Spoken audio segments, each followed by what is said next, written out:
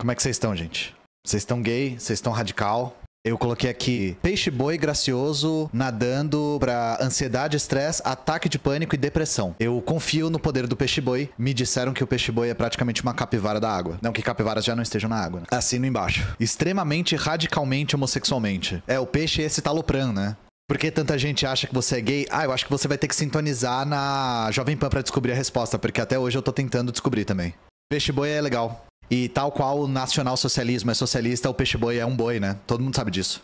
Hoje é o dia que a gente responde perguntas e responde respostas. Como sempre, eu vou dar prioridade pro LivePix porque é um método mais democrático. E também eu recebo mais porque o YouTube come uma parte maior das doações. Então, sintam-se à vontade para usar qualquer um dos dois métodos. Mas saibam que, se vocês quiserem saber a minha opinião, o LivePix é melhor. Deixa eu ajustar esse monitor rápido. Meu sonho é ter um lugar que é só trabalho e não também a minha sala de estar que eu tenho que dividir o meu cotidiano junto com o trampo, né?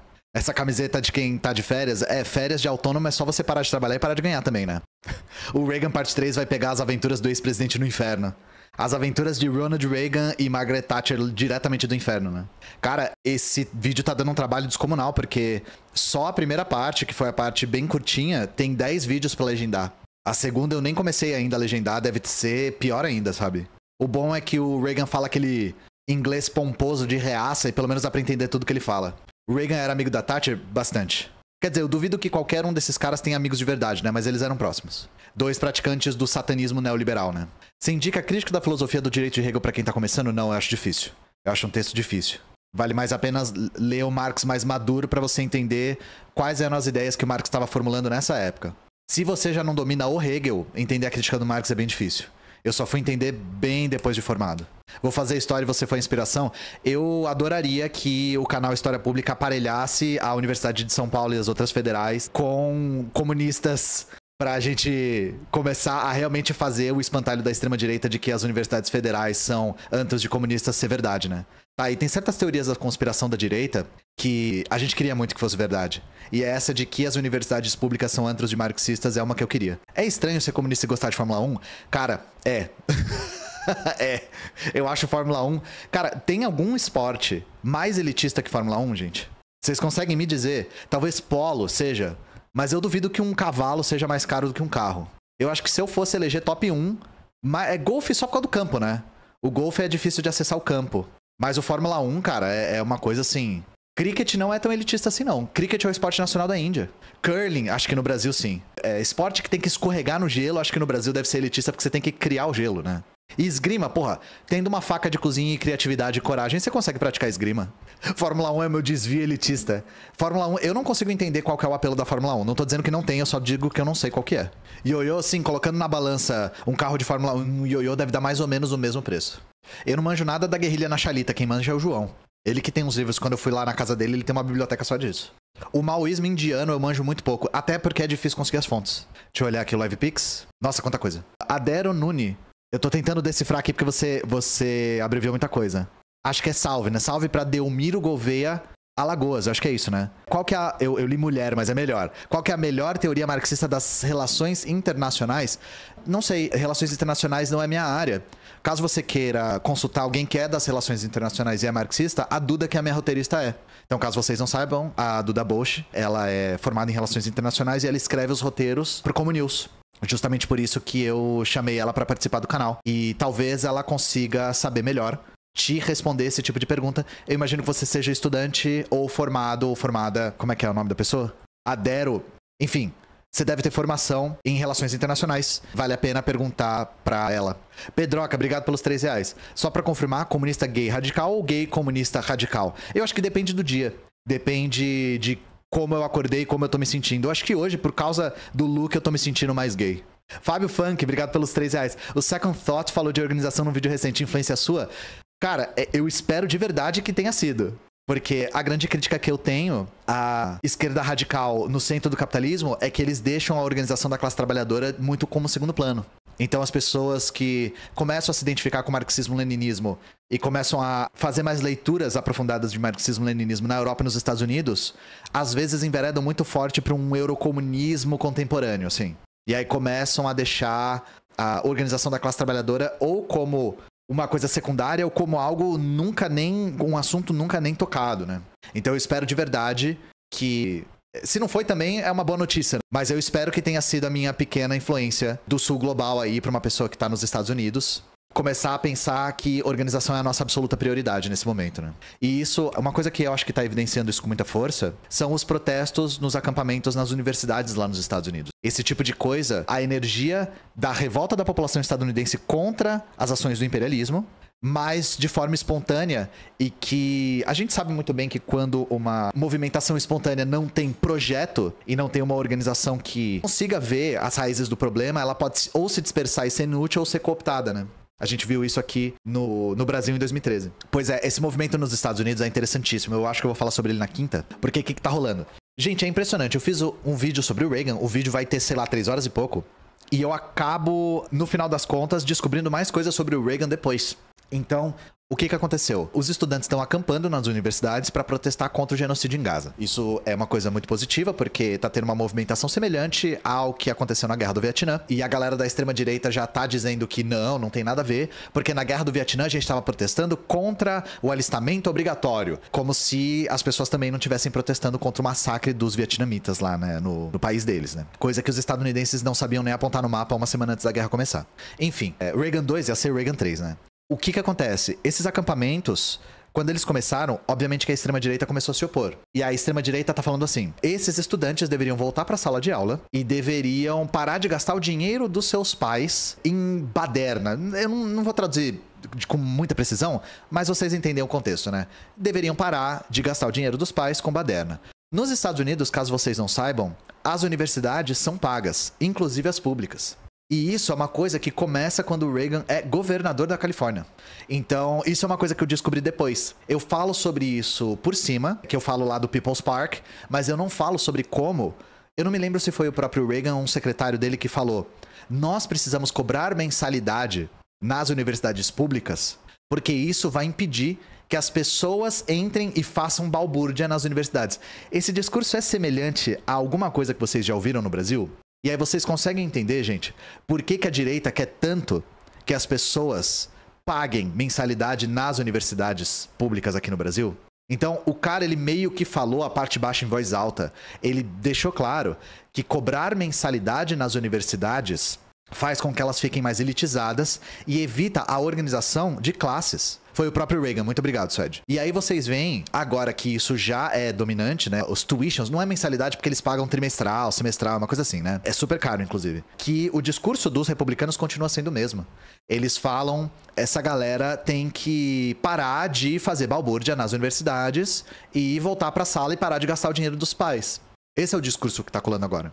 A gente está vendo um outro movimento, gente. Social-democratas dos liberais, né, nos Estados Unidos, tentando cooptar esse movimento contra o genocídio em Gaza.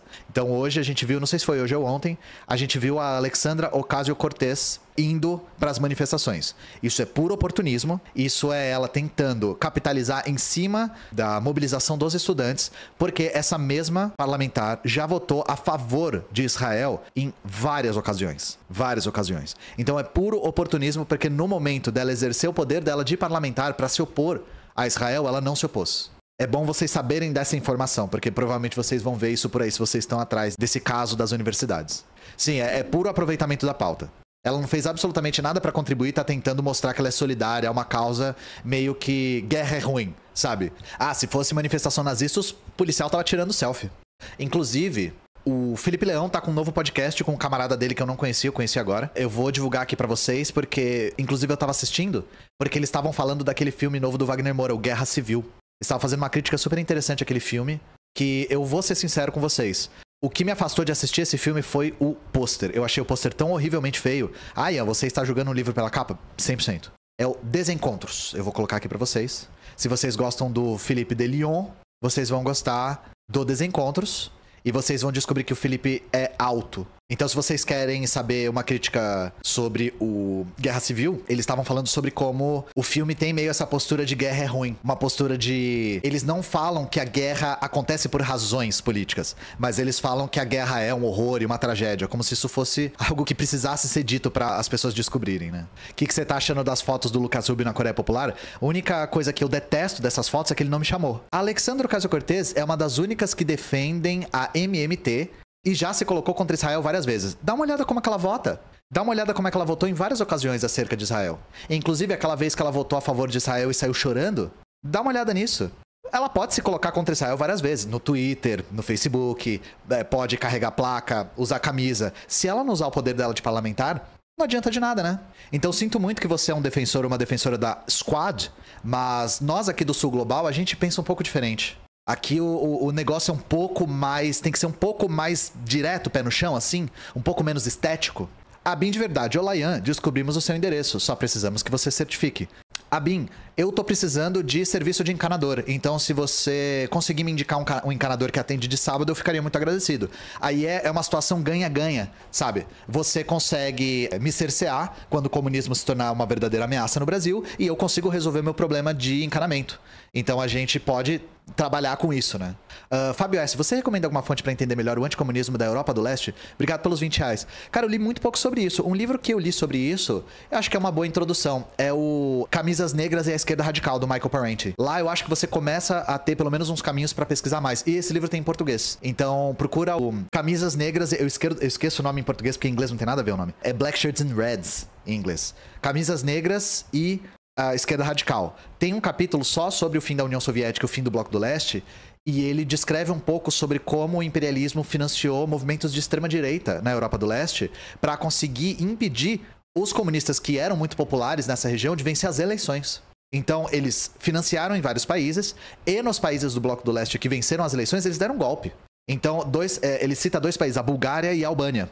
Na Bulgária e na Albânia, os comunistas começaram a ganhar todas as eleições, porque eles eram muito populares. Aí, nossa, eles são corruptos, eles são, enfim, vocês sabem qual é o, o, papo, né? Inventa que é corrupto, inventa que é fraudulento, blá blá blá, tira o cara do poder. Jogou o jogo, mas jogou o jogo errado. Isso aí, ó. Deixa eu colocar aqui na tela, só para deixar a referência. Que esse aqui é um texto que eu consigo lembrar de, em português que fala sobre isso. Talvez, a, eu não sei se é um livro um pouco técnico demais, mas o Revolução de Veludo do Ludo Martins também pode te ajudar. Mas eu acho que é um livro muito historiográfico, assim, o Michael Parent vai bem direto ao ponto. Porque a ideia toda do Michael Parent é, é acabar com essa besteira de que nazismo e socialismo real são a mesma coisa. E ele expõe muito como o, o fim da União Soviética e do Bloco do Leste foi uma tragédia humanitária sem precedentes. Sei que você não é futurólogo, mas o que, que acontece se o Biden ganhar ou o Trump? Para nós do Sul Global, absolutamente nada. A política imperialista dos Estados Unidos ela é permanente ela não tem diferença prática entre democratas e republicanos. O que pode mudar entre uma eleição e outra é um pouco de diferença no investimento público deles, principalmente a maneira como eles se posicionam acerca de costumes. Agora, da política econômica externa dos Estados Unidos, a diferença é praticamente nula. Assim, a gente, de olho fechado, a gente não consegue distinguir qualquer qual. Tanto democratas quanto republicanos são aves de rapina imperialistas idênticos não tem a menor diferença. Uh, Tiagão, obrigado pelos três reais. Qual a sua opinião sobre o Marighella? Foi uma figura importante? Faz falta? Eu acho o Marighella uma figura importantíssima. Inclusive, eu acho a leitura dele acerca do caminho que o PCB estava tomando na ditadura super correta. Mas eu não, não costumo estimular tanto o culto de personalidade. Então, eu acho que o que a gente precisa para inclusive continuar o nosso papo acerca do que o Second Thought estava falando no canal dele. No lugar da gente cultuar figuras e nos espelhar em figuras específicas, eu acho que a gente precisa focar de verdade no Brasil em reconstruir um movimento de massas e um movimento de vanguarda poderoso. Esse é que é o problema. Esse foi o calcanhar de Aquiles durante a ditadura, inclusive. Então, claro, eu acho o Marighella uma figura importantíssima, acho ele um exemplo de coragem, sobretudo, e acho que a leitura política dele da época estava correta. Mas eu acho que a gente deveria, no lugar de despender nossas energias em cultuar figuras do passado, construir um movimento de massas robusto hoje em dia. Marejai cansada, obrigado pelos três reais. Se na Coreia do Norte não existe imposto, como funciona a arrecadação? A economia planificada. Então todo o dinheiro circula dentro da planificação da economia. O que significa que quando você compra os bens de consumo, esse dinheiro volta a circular dentro do mesmo sistema. E tem outra coisa, né, gente? Os impostos são uma necessidade dentro da economia capitalista. Porque eles talvez cometa erros de economia que faz tempo que eu não falo sobre esse assunto, aí eu não tô com a memória muito boa. O que significa a economia planificada? Significa que a economia é centralizada por um órgão que, que planeja a economia. Isso no caso da União Soviética era o Gosplan, o Gosplan era o órgão da União Soviética que planejava toda a economia para ela ser coordenada, no lugar de ser competitiva. Na, no capitalismo, a gente tem uma economia competitiva de mercado. E uma economia competitiva de mercado, perdão, tende ao monopólio privado. No caso, então o dinheiro do país nem cresce nem diminui? Cresce e diminui dependendo de quanto eles emitem. Porque o Banco Central deles tem a capacidade de emitir. A diferença é que numa economia capitalista competitiva de mercado, a arrecadação é importante por, por uma série de outras razões. Em economias planificadas, os impostos têm outra função. Então, no Estado soberano que emite a própria moeda, que utiliza a moeda fiduciária, que são todos os estados hoje em dia, a arrecadação de impostos em economias planificadas não é necessária. Bom, mas por que, que outros países socialistas então continuavam arrecadando impostos? Justamente porque cada um teve problemas econômicos em particular. No caso da Coreia, eles conseguem, por exemplo, só para dar um exemplo para vocês. Quem vai saber falar disso muito melhor que eu é o Humberto, tá? Porque ele entende muito mais de moeda do que eu. Uma das funções do, do imposto é forçar o curso da moeda. Como que você não paga suas coisas em, sei lá, em tampinhas de garrafa e paga em real? Uma das maneiras pelas quais você paga em real é porque você tem que pagar os seus impostos em real. Então os impostos forçam o curso da moeda, eles forçam você a usar a moeda nacional que é o real. Porque você mora no Brasil e você tem que pagar seus impostos nessa moeda. A maneira como a Coreia, até onde me consta, força o curso da moeda deles é fazendo com que os mercados, em uma economia planificada, só aceitem a moeda nacional. Então, os mercados não sendo propriedade privada, o dono privado não pode aceitar nenhuma outra moeda, entende? Acho que a primeira coisa que eu pensei na minha cabeça foi a coisa do Fallout, né? Que eles usam tampinha. Mas acho que na cadeia tem umas. Na cadeia, como tem uma economia paralela também, acho que tem. Me corrijam se eu estiver errado. Mas tem cadeias que tem uma economia que tem moedas paralelas também, né?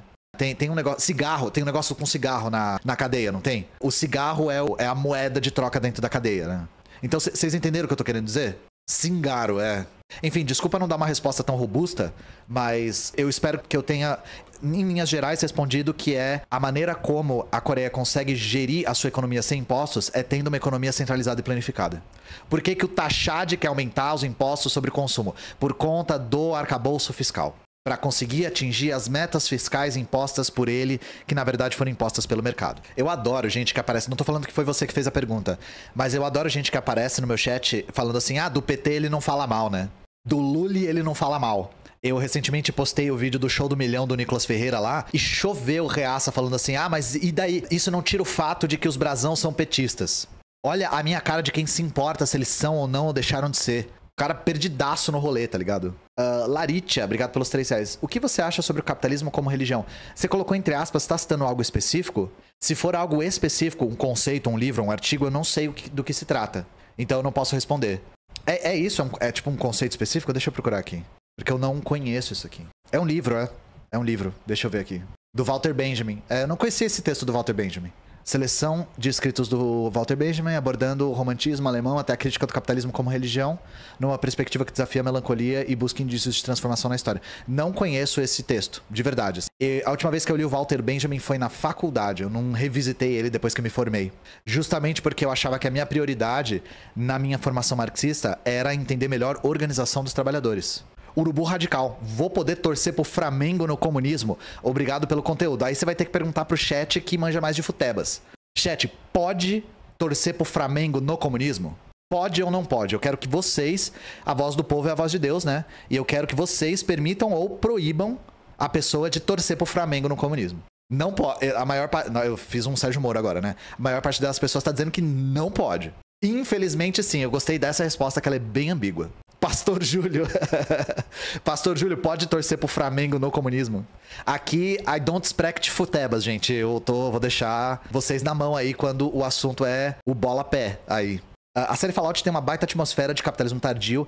Eu acho que não é nem capitalismo tardio, é pós-capitalismo, né? Tipo, um negócio meio meio capitalismo, meio realismo capitalista, né? De tipo, acaba o mundo e o capitalismo continua existindo. As corporações vendendo o fim do mundo. Queria muito ver uma review sua. PS, pau no cu da Bethesda. Acho que você já antecipou o que eu ia falar. Eu detesto, detesto, detesto o design de jogos da Bethesda. Detesto. Eu detesto a filosofia de design deles. Eu falei isso no jogabilidade ontem.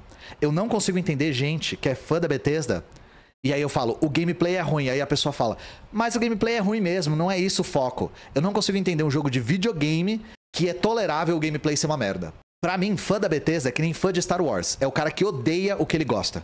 Já repararam nisso? Fã de Star Wars odeia o que ele gosta. O cara é fã de Star Wars, ele tem capa, ele tem sabre de luz, ele tem miniatura do, do Yoda, mas aí você fala, episódio 1, episódio 1 é uma merda.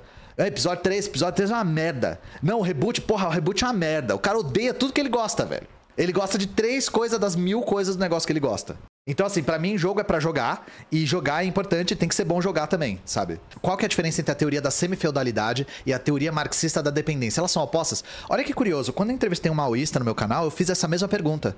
Então, se você quiser ver essa resposta partindo de um maoísta mesmo, que são os adeptos da teoria da semifeudalidade, dá uma olhada no meu vídeo lá no canal. O vídeo é só áudio, né? Não é um vídeo. E o, o título é O que é maoísmo? Lá tá separado por capítulos. Clica lá nessa pergunta. Eu fiz exatamente a mesma pergunta para ele. Isso é uma coisa que eu, eu vou me abster de falar agora ao vivo, assim, porque eu preciso confessar para você que a teoria marxista da dependência não é uma coisa que eu domino totalmente. Eu preciso me aprofundar nisso, eu preciso até priorizar formações na Soberana sobre isso. Sobre a teoria marxista da dependência, que é uma teoria da economia política que é bastante controversa, por incrível que pareça, né? Então a gente tem que, no mínimo, se for para concordar, discordar, concordar parcialmente, compreender ela bem. A grande referência é o Rui, Mauro, Rui Mauro Marini, né? Mas aí fica a dica, se você quiser ver, por exemplo, um maoísta respondendo, pega lá o vídeo sobre o maoísmo, o áudio, o podcast lá sobre o maoísmo, que nosso camarada Fragoso responde. O que, que muda na questão de ser adepto de uma teoria ou de outra? Precisa ver o que, que elas têm de convergente e divergente, né? João Leonardo, obrigado pelos 20 reais. Eu queria saber a sua visão moral acerca da figura do Stalin. Beijão do gay, adoro seu conteúdo. Eu não faço juízo moral. Eu não, eu não faço juízo moral porque eu acho que juízo moral não contribui com o debate. E se a gente ficar numa guerra de quem é mais ou menos moral, a gente vai ficar andando em círculos, correndo em torno do nosso próprio rabo e não chegando a lugar nenhum. Então, de fato, qual que é a minha visão moral sobre Stalin? Eu nunca pensei nisso. Eu nunca pensei nisso porque isso não importa. Se você quiser fazer o seu juízo, faça, mas eu acho que eu fazer isso como comunicador marxista, eu acho que é perda de tempo, de verdade, assim. E o nosso, nossa visão sobre o capitalismo não é moral, não é moralizante.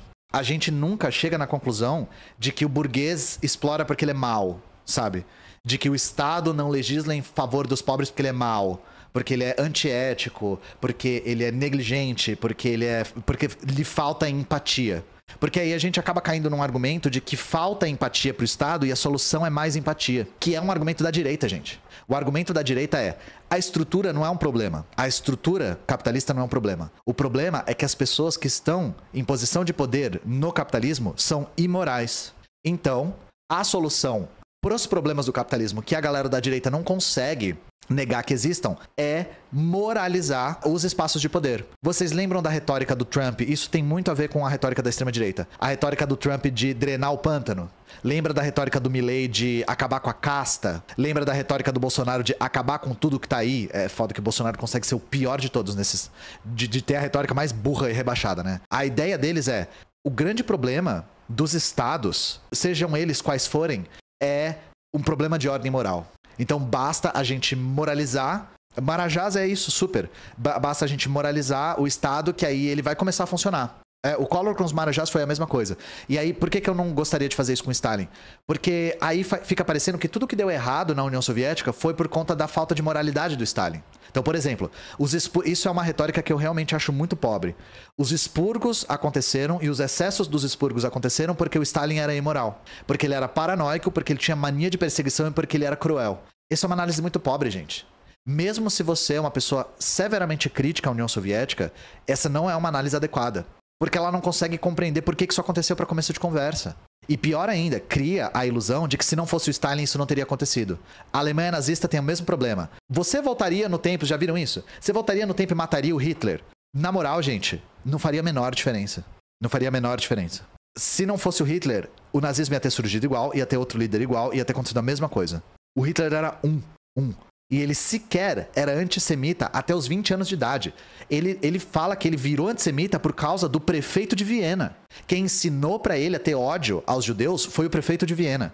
Para vocês verem como o antissemitismo lá já estava comendo solto há anos. Existe alguém que é contra a União Soviética e não usa essa retórica? É raro, mas tem. Tem, eu vou dizer uma coisa, tem historiadores liberais que criticam esse período da União Soviética, mas não nesse prisma, não no prisma moral. No prisma do o Stalin era um paranoico e matava tudo que se opunha a ele em qualquer momento. O J. Art Getty é um dos liberais que não tem essa retórica tão marcada assim. Até porque ele domina muitas fontes. Mas ele continua sendo um liberal, ele tá longe de ser um comunista. Por isso que os textos dele vale a pena ler, inclusive, porque eles são repletos de documentação. A Rússia é comunista hoje em dia? A Rússia não foi comunista nunca. Se você está se referindo a socialismo, a Rússia já não é mais socialista de maneira oficial. De maneira oficial, a gente não vai entrar no debate se ela era nesses, nessa reta final. Desde 1991. Urso Judoca, obrigado pelo cinquentão limpaço. Tá bonito demais. Fala um pouco sobre o Japão imperial. Eu tenho um vídeo sobre isso, eu vou recomendar. Por que, que eu recomendo alguns vídeos já? Pra eu não tomar muito tempo respondendo as perguntas e poder avançar. Tem um vídeo meu no canal que é o que o Japão fez com a Coreia. Que é um vídeo, eu tô de cabelo comprido ainda, pra vocês verem como faz tempo. Eu tava fazendo esse vídeo por conta do da Coreia ter chegado num acordo de que a própria Coreia vai pagar uma indenização pros cidadãos que foram escravizados durante o Japão colonial. O Japão imperial, perdão. É um negócio de um absurdo tremendo, porque é como Uh, que analogia que eu posso fazer? Sabe, é como se o Congo pagasse para os cidadãos que foram escravizados a indenização pela Bélgica ter escravizado eles. Tipo, é o próprio país que sofreu a escravização tendo que indenizar os seus próprios cidadãos. Esse é o nível de subserviência do atual governo da Coreia com o Japão. E aí, nessa toada, eu falei sobre o Japão Imperial. Então dá uma olhada lá no que, que o Japão fez com a Coreia é, inclusive tem, eu, eu uso um livro como referência que chama O que o Japão fez com a Coreia, né? E lá eu falo bastante do Japão Imperial, beleza? E é melhor eu indicar um vídeo porque eu tava afiado no dia. Agora eu tô, estaria falando de cabeça e provavelmente eu não vou lembrar algumas coisas e tal. É, esse vídeo é muito pesado, diga-se de passagem. Foi pesado ler, foi pesado ler os textos. Deixa eu. Ah, eu tava lendo superchats, né? Ian, qual que é a visão marxista sobre o estoicismo? Eu não domino tanto o estoicismo, então eu vou recomendar para você o canal do Pedro Ivo, que é o Ateu Informa. O Pedro é um estúdio, ele é historiador, ele é um estudioso da filosofia e ele é, domina bastante o estoicismo clássico. E aí ele por ser marxista também, ele é a pessoa perfeita para responder isso. Eu não duvido que já tenha vídeos do Pedro Ivo sobre isso no canal dele. Vai lá no Ateu Informa, o nome do, do canal dele é Ateu Informa, é um sapo dentro de um balde. Inclusive, o Pedro vai ter live hoje, né? E isso é uma coisa que com certeza ele já abordou. Não achei o vídeo da Coreia, vou procurar aqui. É, coloca lá estoicismo que você vai achar vários vídeos sobre. O Glauber já falou de estoicismo? O Glauber Ataíde, então, também do Filosofia Vermelha. Eu nunca vi esse vídeo do Glauber, mas obrigado pela referência. Eu vou pegar o vídeo da Coreia aqui. Caramba, tá sem boné ali, verdade. Agora que eu vi. Coreia, né? Ah, o nome do. Eu errei o, o, título, é Os Horrores da Ocupação Japonesa na Coreia. Eu vou colocar aqui o vídeo. É esse vídeo aqui, gente. Os Horrores da Ocupação Japonesa na Coreia. Não assistam se vocês não estiverem se sentindo muito preparados. Digo de verdade, assim. Tô lendo aqui, gente. Um amigo meu falou que não é comunista e nem gosta do Stalin por considerá-lo um colonizador. Tô aqui contra-argumentando até agora, me auxilia. Tem uma série de formas de falar sobre isso, né? Mas o ponto de partida é o que é uma colônia. O sentido da palavra colônia tem que estar tá muito bem definido para você começar um debate acerca de se a União Soviética era colonizadora ou não. Eu já antecipo para vocês que absolutamente não, tá, gente? Não, não tem o menor cabimento falar isso. Podemos falar, ele tá falando do Stalin aqui, né? Então, no período do Stalin, definitivamente não. Podemos falar que a União Soviética, depois da morte do Stalin, era social imperialista? Podemos. Isso está longe de ser a mesma definição do que é uma colônia. Então, antes de tudo, definam muito bem, de maneira muito precisa, o que significa colônia. A João Leonardo, de novo, obrigado pelos 20 reais. Esse é o rolê. Eu sinto que eu tenho muita dessa retórica liberal da direita sobre Stalin. Eu vejo pouco dos comunos do YouTube falar sobre isso. Gostaria de recomendação de livros ou vídeos sobre. Eu vou rapidinho ali na, no meu quarto pegar uns livros que eu acho que eles podem ajudar. Deixa eu pegar rapidinho. Cara, eu não tô conseguindo achar os outros. Mas é. Esse aqui é um clássico que vale muito a pena ler. Que é Stalin, a história crítica de uma lenda negra do Domênico Losurdo. É um livro que. Pô, esse aqui tá em português de Portugal, ele é um pouco caro mas você consegue achar de formas paralelas. E aí eu já vou antecipar, isso aqui não é uma biografia do Stalin, tá, gente?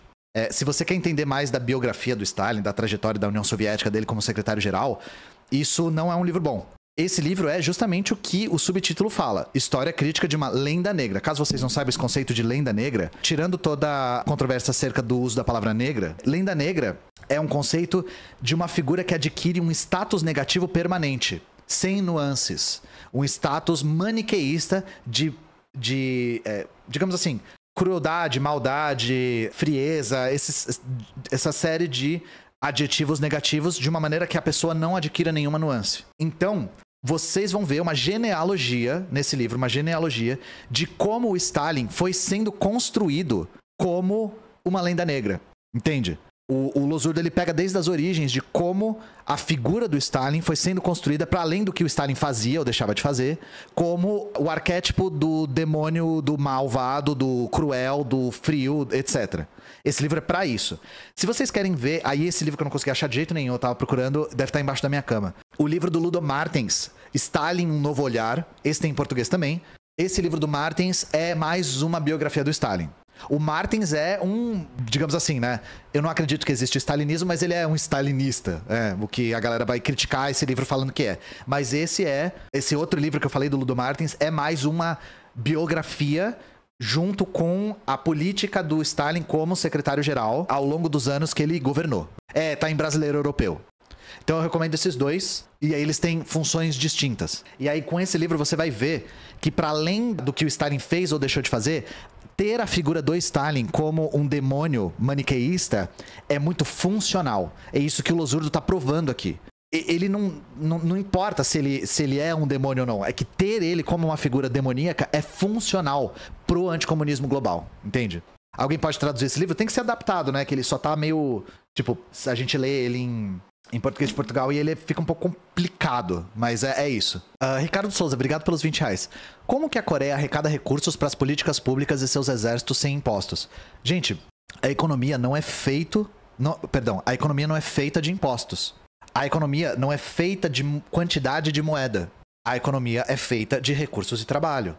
Então, como que ela tem recursos? Tendo matéria-prima e mão de obra. É assim que qualquer país tem recursos como a Coreia consegue ter uma economia que não arrecada impostos é tendo o que eu já falei anteriormente, uma economia planificada e centralizada, que faz com que os impostos não sejam necessários para as funções que eles têm, que é forçar o curso da moeda e enxugar a liquidez da economia. Impostos não são arrecadados a nível federal, inclusive no Brasil que tem moeda soberana, para financiar políticas públicas essa ideia de atrelar arrecadação com financiamento de políticas públicas é uma doutrina liberal. Atrelar arrecadação com gasto é dogma. E esse dogma ele é muito funcional para manter os países subdesenvolvidos subdesenvolvidos caso você aceite essa retórica de subdesenvolvimento, né? Porque a gente tem que debater também o que é desenvolvimento no capitalismo. Esse dogma que eu não entendo, saiba que os liberais sabem muito bem que isso é disfuncional, mas isso é proposital para impedir as economias de se desenvolverem de uma determinada maneira. É absolutamente propositada. A maneira pela qual é forçado goela abaixo um arcabouço fiscal como o nosso aqui no Brasil é para impedir a economia brasileira de se desenvolver. É de propósito, tá, gente? É para gerar desemprego, é para manter a mão de obra barata, é para abrir espaço para a iniciativa privada em setores essenciais como saúde, educação e, e etc.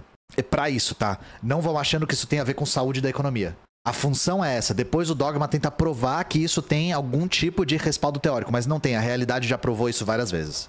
Acho que tá bom aqui. Tô olhando as mensagens, gente. Perdão. Vou dar uma olhadinha nas que tem doações mais altas, só pra eu conseguir ler mais pra frente. Eu percebi que eu sou um pouco injusto, que eu vou respondendo no começo, tudo na ordem, e quando eu vou ficando sem tempo eu começo a pular. Então eu vou, vou dar uma prioridade aí para as que são um pouco mais altas, pra tentar ter algum critério para ser mais justo. Pra ler da galera que chegou depois, né? Bunny, obrigado pelos 10 reais. Por que, que o militarismo é de direita? Isso você tá se referindo no Brasil, né? Sugestão de leitura sobre as Forças Armadas na União Soviética. Olha, tem uma frase clássica do Thomas Sankara, que é: um soldado sem formação política é um criminoso em potencial. A gente não pode encarar as Forças Armadas como sendo organizações espontâneas e autônomas que têm cabeça própria. Vamos pegar o caso do Brasil. Eu não consigo generalizar isso, que seria desonestidade intelectual da minha parte. Como que as Forças Armadas do Brasil se tornaram tão de direita? Com uma depuração dos quadros de esquerda dentro das Forças Armadas propositada. Eu vou pegar só um período específico aqui, que é um período que vocês conhecem muito bem, que é o da ditadura militar. Antes da ditadura militar, gente, houve uma preparação para um golpe no Brasil que durou muito tempo. E qual foi um dos primeiros passos para essa preparação de terreno para um eventual golpe no Brasil? Lembrando que a Revolução Cubana também é uma das coisas que acendeu um alerta vermelho nos Estados Unidos para controlar todos os países da Latinoamérica para não deixar isso se espalhar também, né? Já havia maquinações há muito tempo, né? Principalmente a, a, respeito do trabalhismo e da figura do João Goulart, que era uma figura já que ameaçava os interesses dos Estados Unidos aos olhos deles. Isso na época do macartismo e da Guerra Fria, né? Mas vamos pensar no, numa das coisas que começa a preparar o terreno para um eventual golpe. No meu vídeo sobre think tanks, eu faço um estudo de caso na ditadura militar. Uma das primeiras formas de preparar o terreno para o golpe foi a fundação de uma coisa chamada IBAD. Uma das funções do IBAD, que era um think tank financiado pelos Estados Unidos, inclusive, era tirar, depurar as Forças Armadas de todos os seus melancias. Os melancias eram os verde por fora e vermelhos por dentro. Então, para ter um golpe militar, que era um modelo que os Estados Unidos estavam adotando na América Latina, que era o modelo para controlar o avanço do marxismo, das revoluções socialistas, das organizações comunistas na América Latina como um todo, na América do Sul, eles primeiro tiveram que ter certeza de que dentro das Forças Armadas não havia quadros relevantes que representassem essa esquerda, muito menos comunistas. Então, vejam, não foi uma coisa que as Forças Armadas automaticamente atraíam pessoas de direita. Essas pessoas foram depuradas. Elas foram removidas das Forças Armadas através de uma organização que partiu de uma iniciativa da CIA. Então, entendem? O Castelo Branco, que foi o primeiro presidente da ditadura militar, ele foi escolhido a dedo, porque ele era o que era mais alinhado com os interesses do imperialismo para com a América do Sul como um todo. Então veja, por isso que eu estou dizendo, por que, que o militarismo geralmente é de direita? A resposta não é porque gente de direita gosta de arma. Não é isso. Essa resposta não, não cabe. Entende? Agora, existe militarismo de esquerda?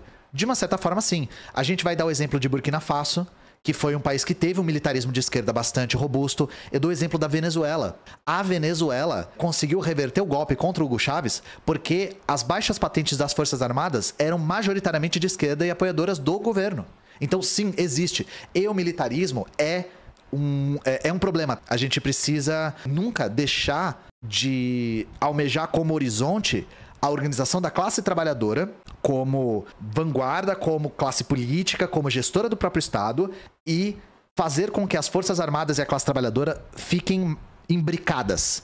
Que as Forças Armadas não tenham uma autonomia política, tal qual foi, por exemplo, na União Soviética, que acarretou no início do revisionismo soviético.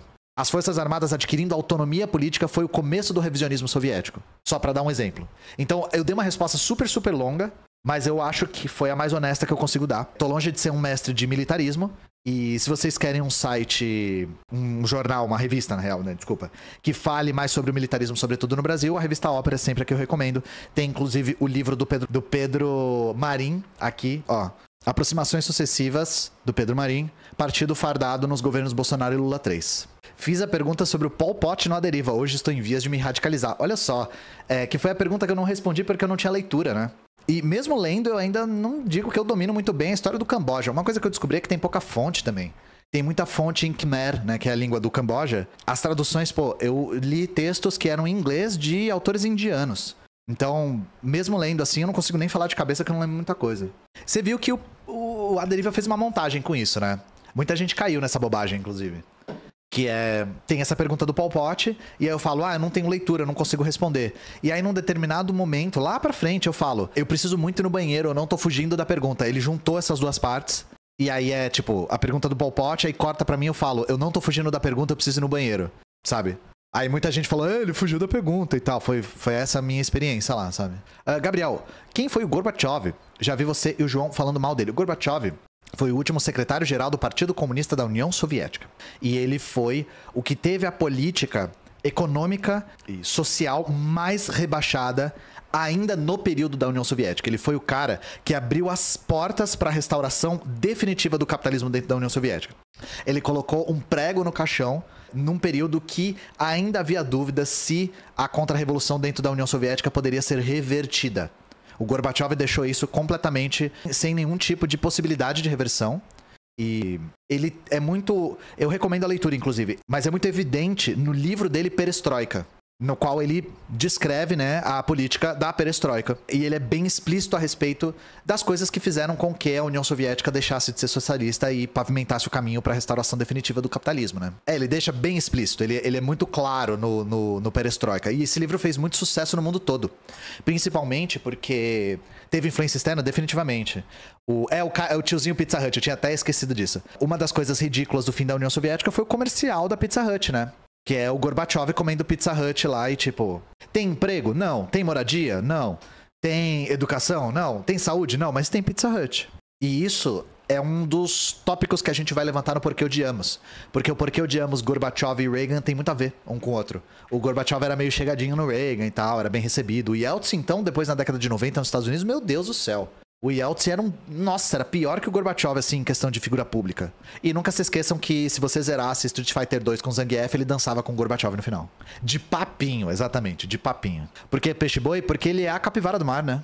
Porque odiamos Michel Temer? Eu costumo evitar fazer porque odiamos de gente viva, porque dá tempo de fazer muita merda ainda, né? Eu só fiz do Collor porque o Collor tomou, o Collor tomou um impeachment e ficou tipo 20 anos fora da política, um negócio assim.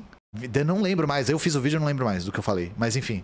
Teve um período aí de hiato, de que ele não. Ele ficou impossibilitado de fazer merda. Eu vi uma doação de 50 reais aqui que sumiu. Pera aí. Podreca, obrigado pelos 10 reais. Toda revolução passa por uma guerra contra o exército. Eu definitivamente não deveria estar falando sobre isso na internet. Então, acho que você entende. Não, não posso falar sobre essas coisas em canais públicos assim para me comprometer, porque é irresponsabilidade da minha parte, né? Raven, obrigado pelos 20 reais. Os livros da Svetlana Alexievich são confiáveis? Não. Ela é uma ferrenha anticomunista.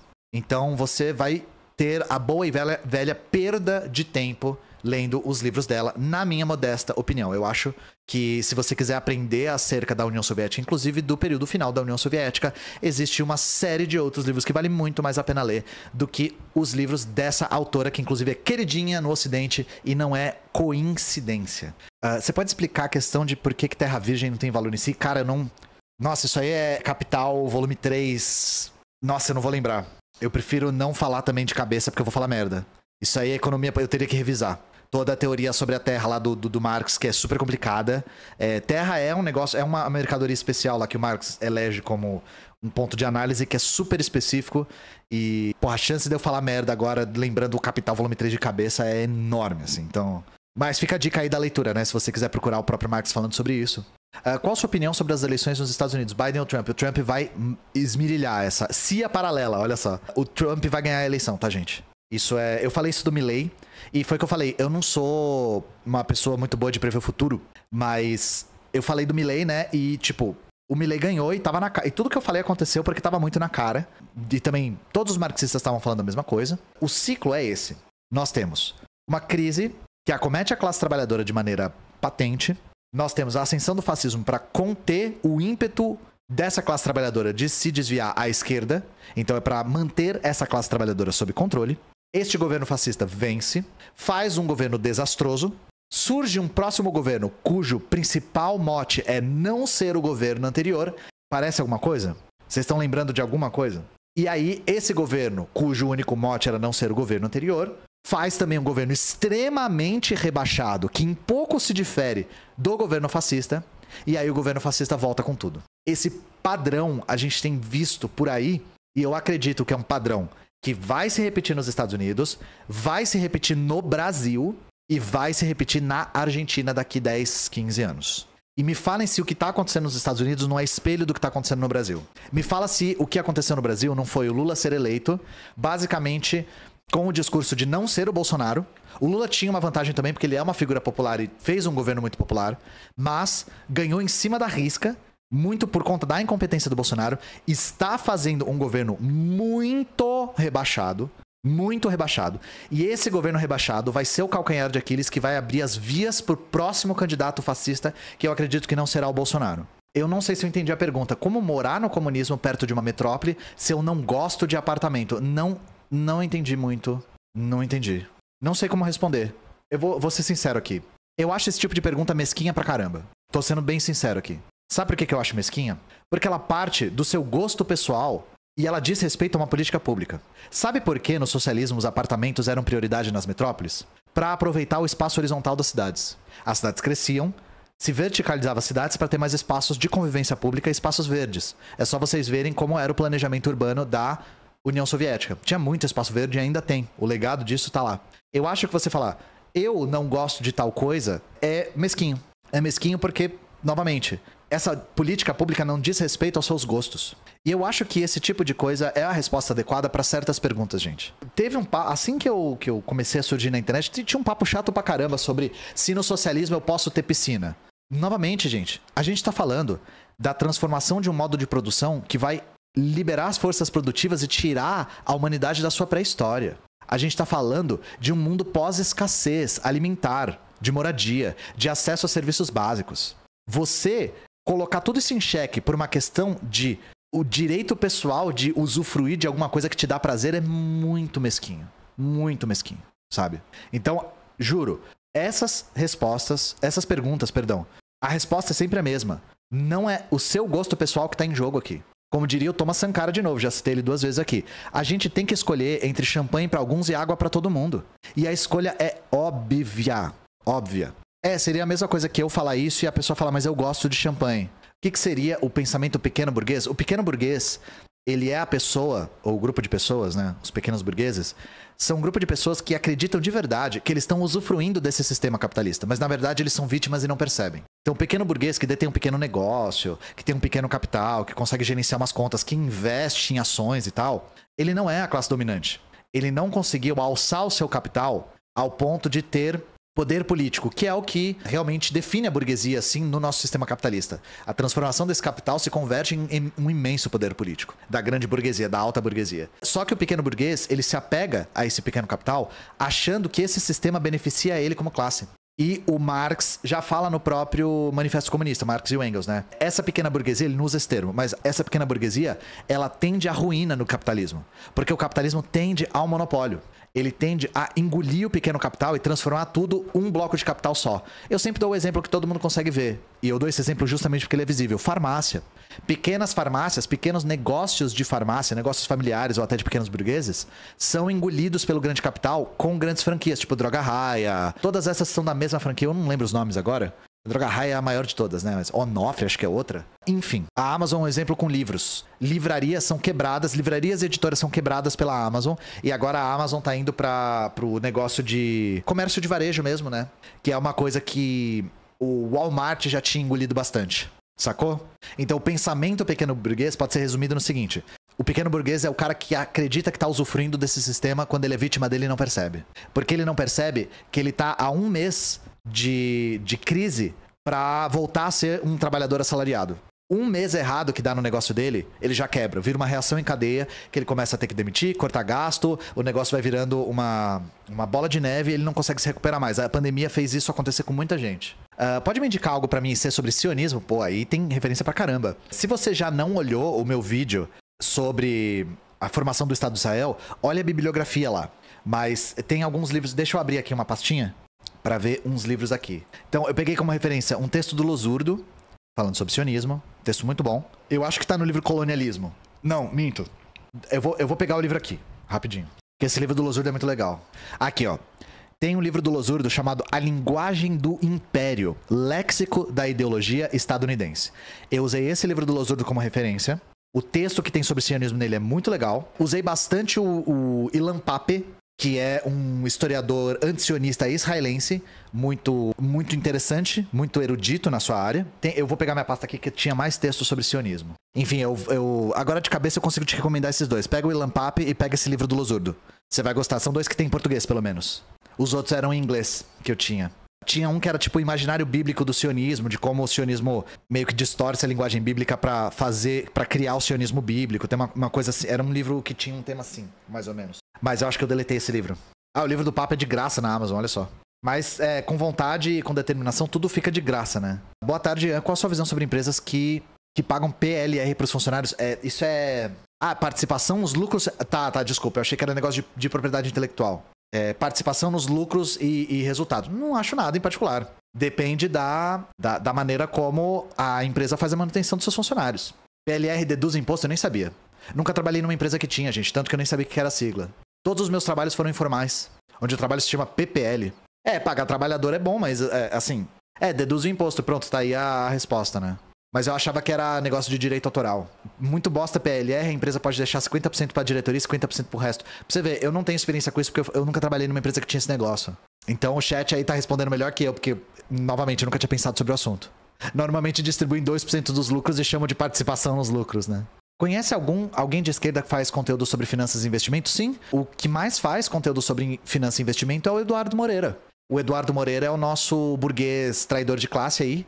E a pegada dele é bem essa. A pegada dele é ensinar investimento para gente de esquerda, para num, perspectiva de esquerda, que é um negócio meio se a gente está nesse sistema, então a gente tem que usufruir. Aí eu acho que ele super vai responder as perguntas que você tem. Que não é essa coisa do, ah, basta qualquer um saber investir que você consegue ficar rico. Não tem essas besteiras. No caso dele é, vamos fazer o seu dinheiro render e eu vou te ensinar o que você precisa para isso, para a gente conseguir ter uma renda melhor nesse sistema aqui, sabe? Uh, André Felipe Mendes, obrigado pelos 50 reais. Tem indicação de texto sobre saúde na Coreia Popular? Eu não sei se o CEPS tem. Deixa eu ver aqui. Vamos pesquisar aqui, ao vivaço. Eu sei que eles têm um problema sério, só para falar o que eu já li sobre, né?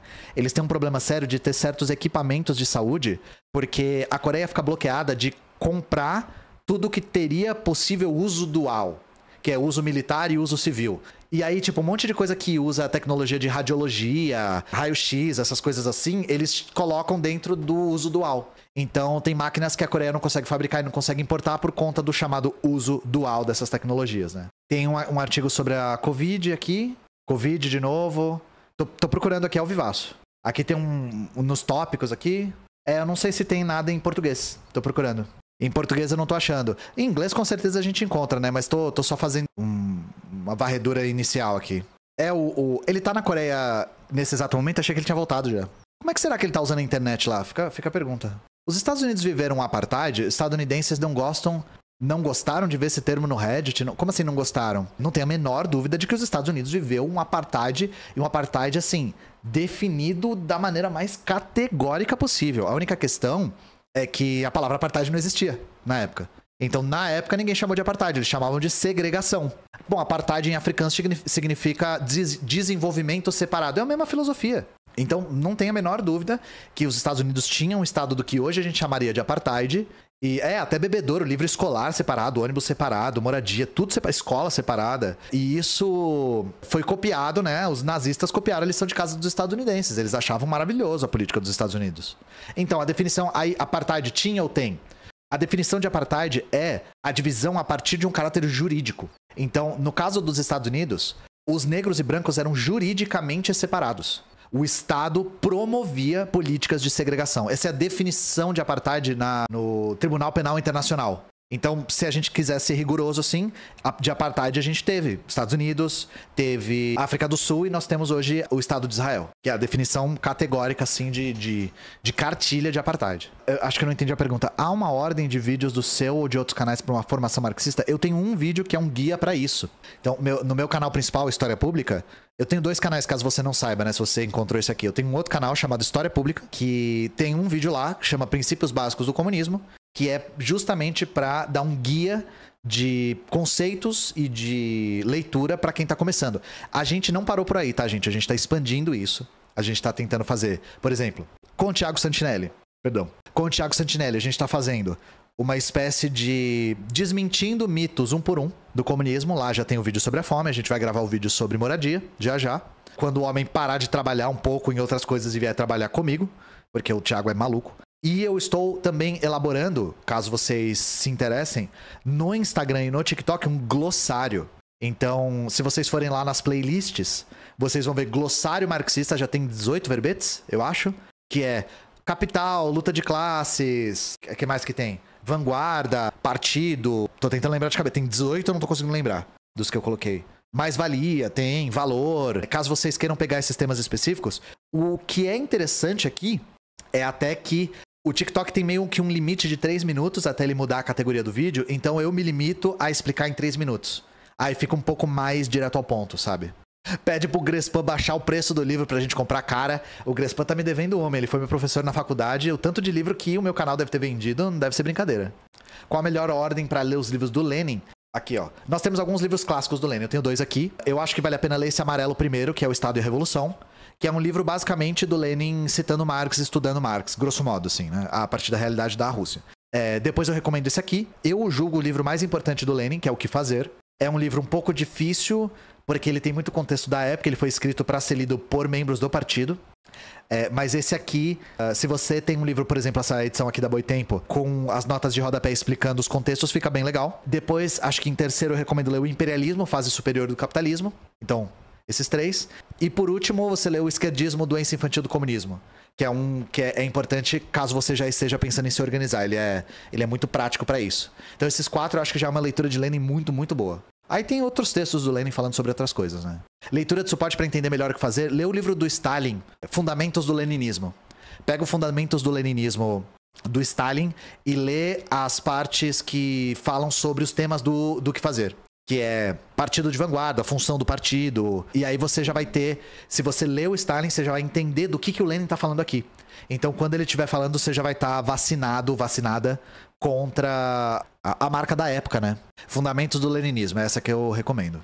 A Krups escreveu um texto sobre os escoteiros, nem sabia que tinha escoteiro na União Soviética. No comunismo serão considerados feriados católicos? No comunismo a gente não tem como saber, principalmente na cultura brasileira, que é uma cultura muito católica. Mas eu posso dar o exemplo da União Soviética. A União Soviética baniu todos os feriados religiosos, todos, incluindo o Natal. Eles instituíram só feriados políticos. O feriado na União Soviética, no Bloco do Leste até hoje em Cuba, por excelência é o Dia do Trabalhador, o 1 de maio. Se eu não me engano, na União, Soviética, o primeiro de maio durava uma semana. Era uma semana de feriado. Tinha marchas lindíssimas, assim, a galera tomava as ruas. É dia do trabalhador mesmo, é dia de não trabalhar, dia de usufruir do trabalho todo do resto do ano. Ah, mas não se preocupem. Na União Soviética, tinha isso aqui, ó. Vou mostrar para vocês. Poxa, você disse que o Natal tinha sido banido na União Soviética por ser um feriado religioso, né?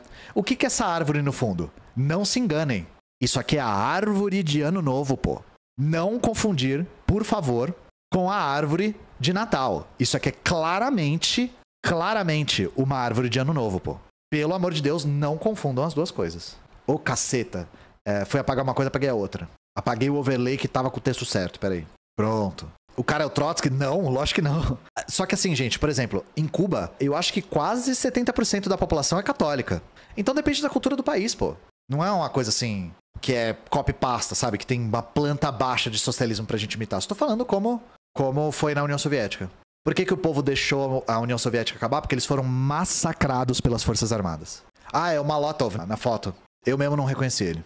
Eu gostei dessa mensagem. Professor de trilha, eu sou da UP, dou aula no novo ensino médio e tô metendo economia política no IF. Pode!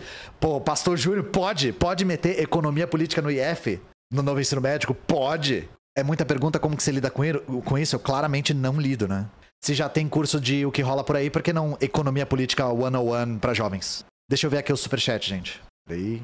Já leu o livro da Anne Louise Strong? Descobri ela com a Lady de Har. Eu também.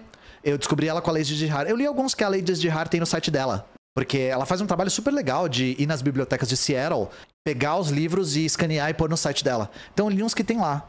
Mas fora dos que tem lá, acho que eu nunca peguei. Eu fiquei mais interessado depois que ela começou a falar, porque eu gosto dessa coisa de relato, né? De pessoas que foram lá e relataram o cotidiano de um país que era completamente diferente do que a gente conhece. E a de Zihara é das nossas, né? Se ela recomendou, provavelmente é bom.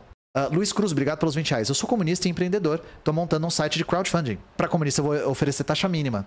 Em que nível isso ajudaria ou não ajudaria muito? Cara, eu acho que é difícil você aferir isso, quem é comunista e quem não é. Eu acho que isso não, não, não tem muito, muita finalidade. Tô sendo sincero com você. Para comunista cobrar um preço diferente e tal. Eu acho que a gente vive. A gente vive no capitalismo e a gente tem que sobreviver nesse sistema. Então, isso seria mais uma coisa de desencargo de consciência do que algo que teria um efeito prático.